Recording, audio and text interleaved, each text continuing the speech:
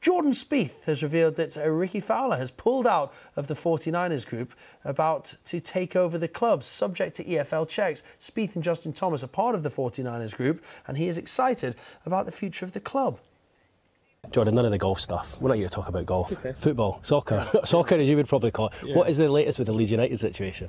Yeah, I mean, relegation wasn't ideal, but then, um, yeah, we got involved with the 49ers group who were, you know, um, purchasing kind of a the, a larger share to to own Leeds United and then make the do the stuff they do so successfully everywhere else they've touched.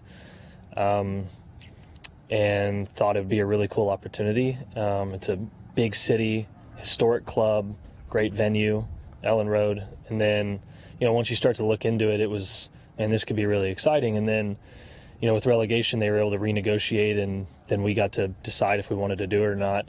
And it was never really a decision. We wanted to do it. It just ended up being you know possibly a better deal as long as they can get promoted here um, soon, and hopefully you know it's we can't we're not we're just watching Right. Um, but I'm really excited to have a team I'm emotionally invested in, and I've watched Premier League soccer now for the last few years pretty intently, and um, so you know it'll be Championship soccer now, and then yeah. hopefully Premier League very soon. So sorry, where are you with it?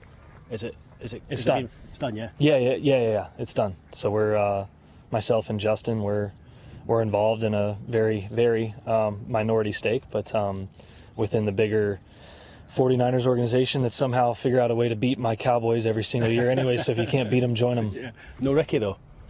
Uh, I don't think so. No, he. I think he decided once they were relegated against it. Yeah, and uh, you were at Wimbledon last week. You're here today. Did you pop in at Elland Road on your way up? No, no. We. it was cloudy. We were hoping we'd see it on the way up, but um, no, that would have been quite a drive. So we we flew right over. But um, I was hoping, depending on you know, I guess we're not too far from it from Liverpool. Um, but I don't know if it'll work on this trip, but I'd love to obviously get there someday.